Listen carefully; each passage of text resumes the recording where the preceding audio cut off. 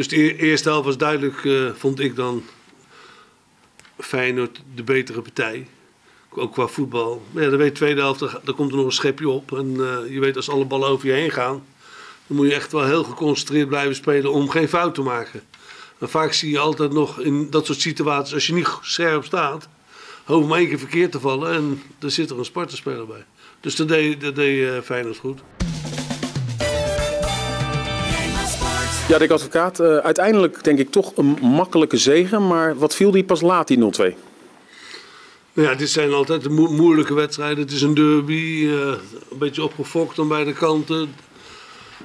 Ik vind het een moeilijke manier van spelen als tegenstander, zoals Sparta speelt. Met die lange bal, eh, alles gaat over je heen. De eerste helft hadden we redelijk de controle over de wedstrijd. Komen we ook verdiend op, op voorsprong. Moet je eigenlijk 2-0 maken, dat gebeurt dan niet. Dus de e- eerste helft was duidelijk, eh, vond ik dan, Feyenoord de betere partij ook qua voetbal. Maar ja, dan weet tweede helft, dan komt er nog een schepje op. En eh, je weet, als alle ballen over je heen gaan, dan moet je echt wel heel geconcentreerd blijven spelen om geen fout te maken. En vaak zie je altijd nog in dat soort situaties, als je niet scherp staat, hoef maar één keer verkeerd te vallen en er zit er een Sparta-speler bij. Dus dat deed, dat deed eh, Feyenoord goed. Maar pas in de extra tijd beslissen jullie het duel. Heb je daar wel zitten verbijten dat er een paar hele grote kansen niet ingingen, dat je dan al die wedstrijd gekild had? Nou, we hadden al eerder kunnen scoren. Uh, had natuurlijk een paar, paar, paar mooie kansen. Ik ben wel blij dat hij in de positie komt dat hij daar staat. Hè. Die heeft natuurlijk nog wat tijd nodig. Ontzettend blij dat Haps ook uh, ingevallen is uh, na twee maanden, tweeënhalve maand. Ook zijn eerste partij. Als je ziet wat de snelheid die heeft, wat de gevaar die hij nog kan hebben, ook qua voetbal. Dus je, hebt, je hebt wat meer mogelijkheden. Nico die erin komt, die een mooie goal maakt. Prachtige paas. Diemers, steekpaas, uh, Berghuis.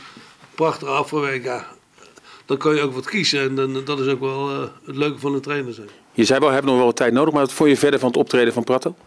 Nou ja, ik, ik, ik vind het een, uh, een bijzondere jongen. Want hij zei ook die drie dagen, drie, vier keer dat hij meegetraind heeft, drie keer geloof ik.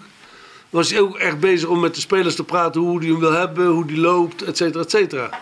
Want ja, op de training zie je dat niet allemaal. Hè. De, maar, nu waren er echt een paar mooie acties. Die paas van Jens, alleen op de goal tegen de paal.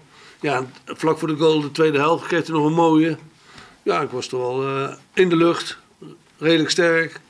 Ik was er wel tevreden mee. Ja, je hebt nu uiteindelijk keuzes. Is het wel moeilijk om bijvoorbeeld een Linse, die de laatste wedstrijd drie keer scoorde, om dat soort jongens nu te passeren? Ja, het is altijd vervelend, maar ja, daar moet je niet mee, daar moet je niet mee zitten. Je moet gewoon kijken wat je denkt, wat je nodig hebt. En wij dachten dat we dit...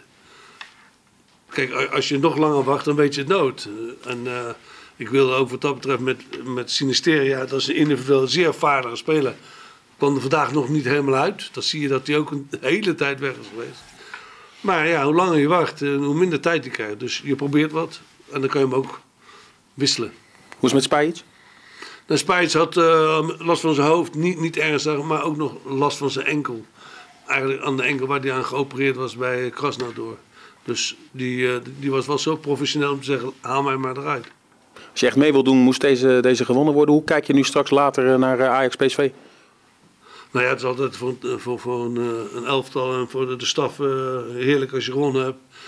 En dan naar zo'n mooie wedstrijd gaat kijken. Want dat wordt natuurlijk een, echt, echt wel een mooie een speciale wedstrijd. Dus dat is wel prettig.